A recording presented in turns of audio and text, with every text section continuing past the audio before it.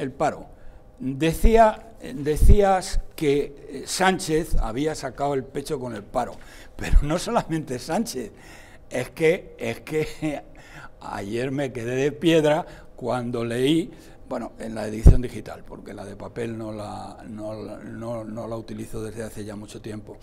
El ABC, es que el ABC ayer ponía un titular diciendo que en el último año se habrían creado un millón de empleos. Pero ¿de dónde narices habéis sacado esa cifra? Si es que parecéis el país, que es el periódico que más daño ha hecho a España y a la democracia eh, y a los españoles durante en los últimos 40 años. Bien, mira, hay dos cifras que son las que de verdad hay que tener en cuenta. Tenemos que comparar el segundo trimestre del año 2009, 19, perdón, ¿por qué? Porque es el segundo trimestre donde las cosas estaban normales, más o menos, con este segundo trimestre. ¿Estás de acuerdo, querido Juan Carlos? Claro. Bien. ¿Y qué tenemos?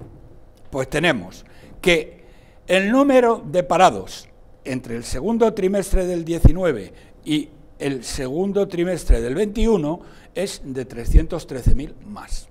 Más luego, 630.000, porque hay no 450, 400.000 personas en ERE y 230.000, como ha dicho la calle, en eh, eh, autónomos, de, los autónomos.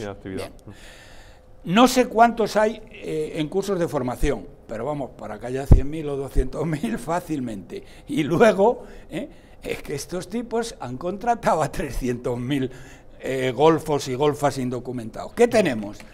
Pues tenemos señores eh, que ahora mismo, ahora mismo,